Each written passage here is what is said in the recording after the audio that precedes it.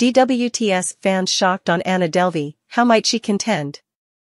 Every single year, the Hitting the Dance Floor with the Stars projecting office attempts to get names that will get people in general to talk and tune in.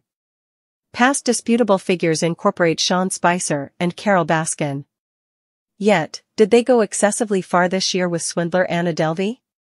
At the point when the full cast list emerged on September 4th, the web detonated with a large number of suppositions. Some DWTS watchers have considered Anna Delvey and Symbol. Numerous others have hammered DWTS and ABC for permitting her to take part.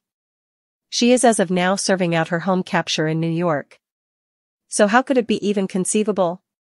Numerous DWTS fans are boycotting season 33 over Anna Delvey.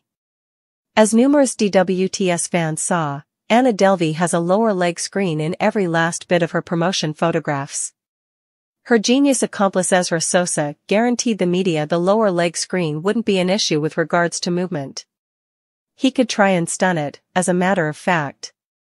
What's more, concerning the house capture issue, Delvey says she cleared it with ICE ahead of time.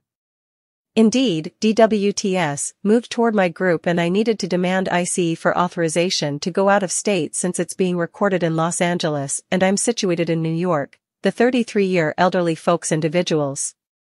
It took them around 10 days to help it through the framework and to get everything endorsed. However, what truly angered watchers was that the organization and government would permit her cooperation to happen by any means. Via online entertainment, there is no lack of remarks disgracing ABC for projecting her.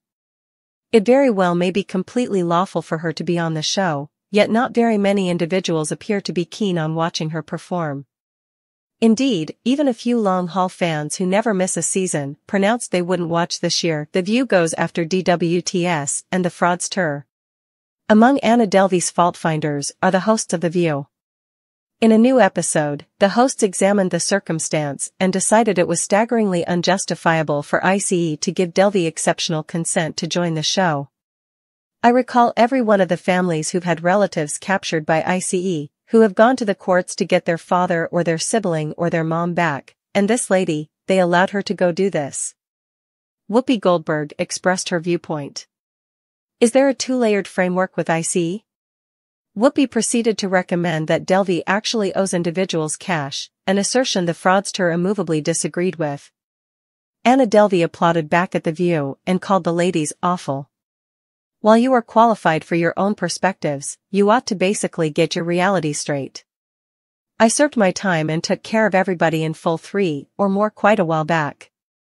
Anticipating your live adjustment.